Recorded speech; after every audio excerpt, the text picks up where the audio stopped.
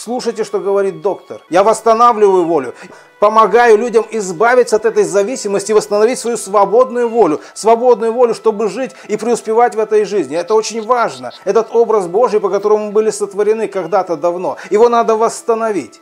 И я именно этим занимаюсь. Кроме того, что избавиться, сформировать, убрать это все отсюда, прочистить, так сказать, трубу, чтобы она была чистая. Второе – это инсайт, когда мы прочищаем, само собой, как бы автоматически происходит озарение. Озарение, вот это понимание, этот инсайт, человек видит, он как бы чувствует, оно само отходит, когда он познает правду. Правда истина. В Библии написано, познайте истину, истина сделает вас свободными.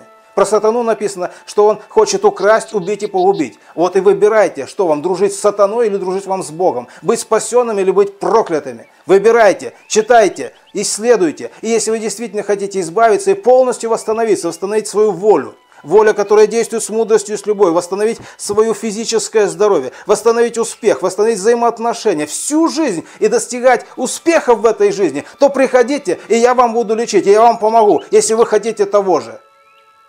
Да, кстати, вопрос веры. С каким настроем приходить? Смирение, сотрудничество, послушание, вера. Что такое вера? Вера в успех, вера в себя, вера в врача. Не позволяйте никому разрушать вашу веру. Вера в Бога, наконец.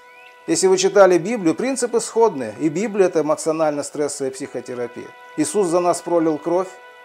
И кто это принимает, кто в это верит, тот получает свободу.